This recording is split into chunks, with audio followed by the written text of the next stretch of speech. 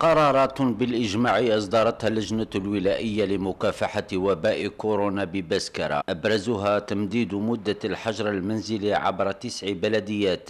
هي بسكرة سيدي عقبة عين الناقة زريبة الوادي شتمة طلقة الدوسن ولاد جلال وسيدي خالد.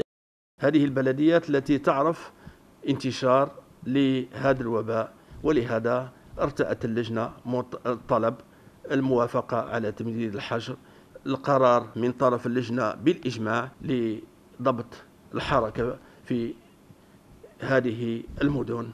على مستوى بسكر المدينة اتخذت السلطات قرارا بغلق سوق الخضر بزقاق بالرمضان ومنع تجار الأرصفة بعد منع النشاط على مستوى السوق المركزي. الوضع الصحي في بسكرة بدأ ينحو نحو الخطورة وعليه بدأنا بالأسواق كبؤرة بداية بالسوق المركزي الذي تم إزالته كذلك سوق زقاق بن رمضان الذي سوف يزال بداية من الغد الجمعة والسبت صباحا وكذلك بقية الأسواق في العالية سوق العصر وتنظيم مختلف الأسواق التي من شأنها أن تنقل عدوى للسكان.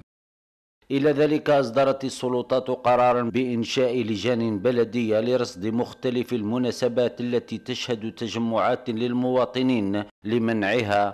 ومن ثم الحد من انتشار الوباء